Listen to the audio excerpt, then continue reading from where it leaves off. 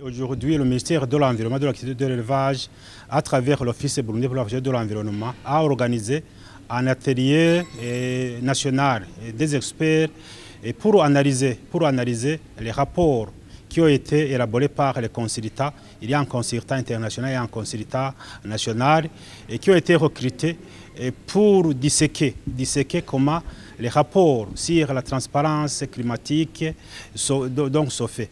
Et comme vous le savez, le Burundi a signé et ratifié la Convention cadre des Nations Unies sur le changement climatique ainsi que l'accord de Paris. Et que ce soit la Convention cadre et l'accord de Paris, ils ont des exigences, notamment sur le, système de rapportage. Et comme vous le savez aussi, pour faire face au changement climatique, il y a des ressources internes que le gouvernement mobilise. Il y a aussi donc des sources externes qui, proviennent, des bailleurs de fonds ou bien des mécanismes de financement et. Et tous ces fonds, que ce soit les ressources internes, que ce soit les ressources externes, doivent être rapportés au secrétaire de la Convention pour montrer les appuis qui sont tant internes qu'externes qui ont été mobilisés pour faire face au changement climatique.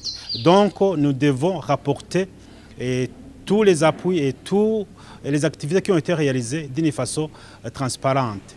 Autre chose, le pays est à sa quatrième rapport sur l'inventaire des gaz à effet de serre.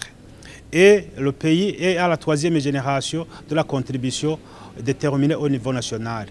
Et que ce soit l'inventaire des gaz à effet de serre, l'inventaire doit se faire selon les exigences de la Convention cadre des Nations Unies sur le changement climatique.